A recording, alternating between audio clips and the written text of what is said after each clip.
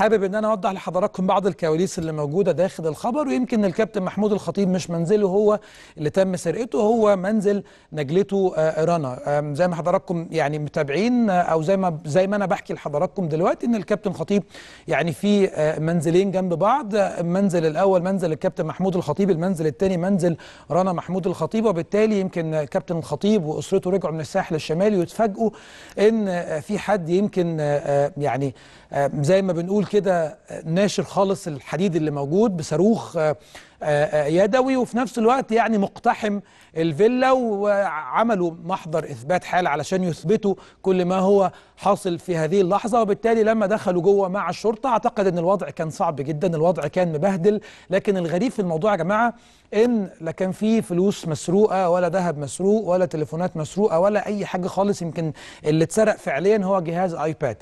زي ما بقول لحضراتكم يعني ده غريب ده شيء غريب جدا. لكن لو بيدل بيدل على حاجة. يعني يعني الموضوع آه، اللي دخل كان بيدور على حاجة معينة المكتب الخاص ب بالبيت أو بالمنزل الخاص برنا مقلوب كله على بعض كل الأدراج مفتوحة. فزي ما بقول لحضراتكم دايما اللي, اللي, اللي, عايز يخش هيدور على فلوس أو يدور على ذهب أو يدور على أي شيء ممكن يستفيد منه. لكن تخش بيت وتلاقي وتلاقي إن مفيش أي حاجة مسروقة وتلاقي فقط إن هو كان بيدور على حاجة معينة أو داخل عشان يجيب حاجة معينة أعتقد إن ده شيء غريب جدا. لكن في كواليس أعتقد إن إحنا هنحتفظ بيها ومش هنعلنها غير في الوقت المناسب. نروح بقى لتليفون مهم جدا جدا مع أسطورة الحراسة المصرية الأهلاوية وحش أفريقيا الكابتن إكرامي. يا كابتن إكرامي برحب بحضرتك.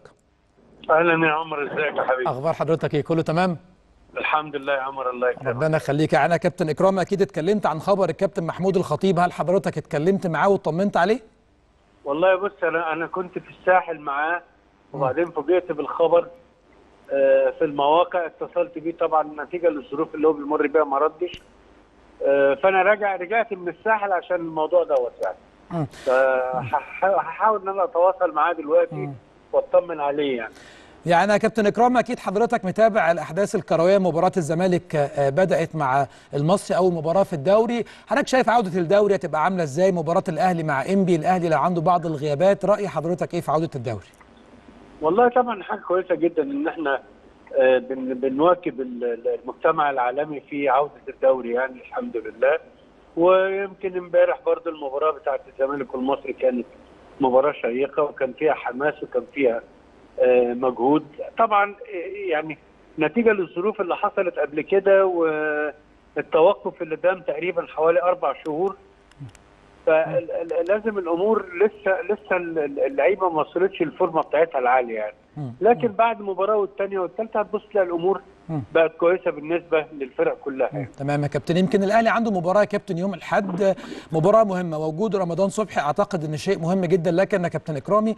موضوع رمضان إحنا مش فاهمينه. وبالتالي الموضوع حصل دلوقتي قبل مباراة يوم الأحد. يمكن الموضوع معروف إن رمضان هيبقى عنده مشكلة في الإعارة. فأنا بالنسبة لي وجود حضرتك معانا عايز أفهم حضرتك يعني لو تتفضل وتفهم الناس مشكلة رمضان يا كابتن إيه هي؟ وهل هي ممكن تتحل ورمضان يبقى موجود سواء مع الأهلي محليا أو افريقيا ولا الموضوع رايح فين يا كابتن؟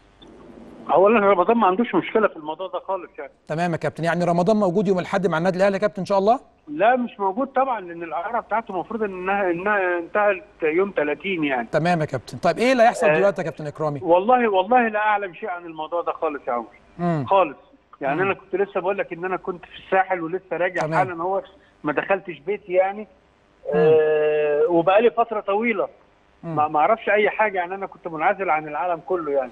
باستثناء طبعا لما اتقابلت مع الكابتن محمود الخطيب وتقابلنا مع بعض ومع مجموعة من الأصدقاء يعني في الساحل صحيح. غير كده أنا لا أعلم شيء عن المواضيع دي خالص كنت عارف يعني. طب يا كابتن بالنسبة أنا كنت واخد أجازة من كل حاجة مريح دماغي يعني. أنا عارف يا كابتن مش انا تابعنا الصور اللي حضرتك كنت بتتكلم عليها وال- والغدا اللي حضرتك كنت ماضيه مع الكابتن محمود الخطيب. لكن يا كابتن إكرامي طيب لو عايزين يعني برغبة رمضان يمكن في تضارب حواليها. يعني في ناس بتقول إن رمضان حابب إن هو يحترف يكرر تجربة مرة تانية وتكون أكثر نجاحا من تجربة ستوك سيتي وهادرسفيلد وناس أو رأي آخر بيقول إن رمضان يا كابتن حابب إن هو يكون موجود في الأهلي. فهل حضرتك بس يعني آه، تأكد لي واحدة من الاثنين ولا حضرتك برضو بعيد عن الأحداث؟ لا على ما أعتقد إن رمضان أعلنها صراحة قبل كده. يعني من حوالي من من فترة قريبة يعني إن هو بيفكر في الاحتراف الخارجي. يعني دي رغبة رمضان. تمام يا كابتن. وقالها قبل كده يعني مش مش جديدة يعني. طيب يعني يعني يا كابتن طب نصيحة حضرتك طبعا يعني كأب بالنسبة لرمضان بالنسبة للأولمبياد حضرتك شايف إيه الاصلح له يا كابتن إكرامي؟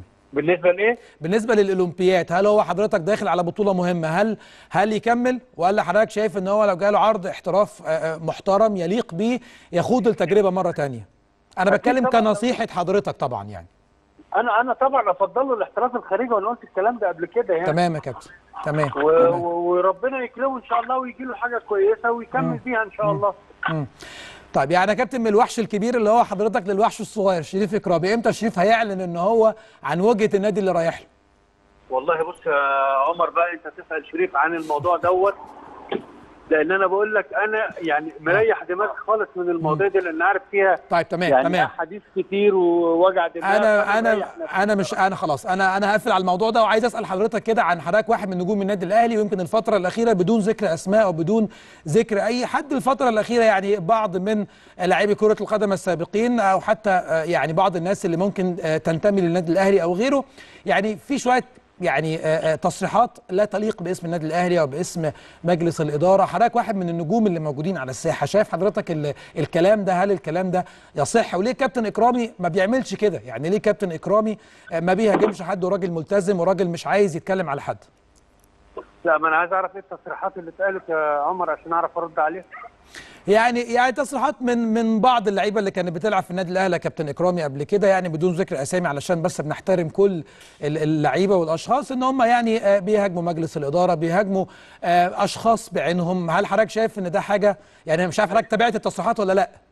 ما أنا عايز أعرف إيه هي التصريحات أنا بقول لك أنا كنت اجازه الفترة اللي فاتت. إيه هي التصريحات؟ آه. يعني يعني يعني كان في بعض الكلام إن في بعض المجاملات في آه، آه، قطاع الناشئين في الكورة بشكل عام بسبب إن يعني مش ولاد النادي هم اللي موجودين. يعني المفروض المكان يبقى مخصص لابن النادي اللي هو لعب في ناشئين النادي وختم حياته في النادي الأهلي وبالتالي هو ده اللي لازم يكون موجود. فتم انتقاد مجلس الإدارة والكابتن محمود الخطيب بالتحديد على إنه يعني في بعض المجاملات. فحضرتك واحد من أبناء النادي الأهلي هل حضرتك شايف الكلام ده موجود فعلا؟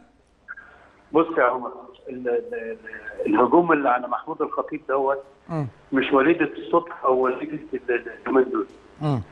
بقى له فترة بيهاجم محمود الخطيب. تمام. خلاص. واللي بيهاجموا محمود الخطيب أو بيهاجموا مجلس إدارة النادي الأهلي أو بيهاجموا أشخاص بعينهم. يعني كابتن إكرامي معلش يعني- بس صوت حضرتك مش واضح يا كابتن إكرامي عشان الكلمة اللي فاتت دي كلام مهم معلش مش عايزه إن هو يفوت علينا معلش. ما أنا بقول لك اللي بيهاجم محمود الخطيب. تمام يا كابتن. آه، في الفترة اللي فاتت. دي دي حاجة مش وليده مش مش قريبة. ده من زمان. وهم بي في ناس بعينها بتهاجم محمود الخطيب. تمام. وبتهاجم أشخاص معينين في مجلس الإدارة. لهم مصالح شخصية وليس لهم أهداف لمصلحة النادي الأهلي. تمام. لأن حتى لو أنا شايف إن في أخطاء من محمود الخطيب أو أخطاء من مجلس الإدارة أو من ناس بعينها وأنا وأنا من أبناء النادي الأهلي أو أنا المفروض بنتمي لأسرة النادي الأهلي تمام يا إن أنا أروح وأتكلم معاهم بصفة شخصية. ما تمام يبقاش على الملأ كده وإن إحنا نهاجم الناس بدون حقائق يعني. فمش عايز أخد في الموضوع ده كتير يا عمر من فضلك. تمام يا كابتن. يعني أنا كابتن اكرامي أنا شاكر جدا لوجود حضرتك معايا شاكر على تعليق حضرتك على موضوع رمضان وشريف وأخيرا الهجوم على مجلس الإدارة كابتن إكرامي وحش آه، حراسة المرمى في النادي الأهلي ووحش أفريقيا وده كان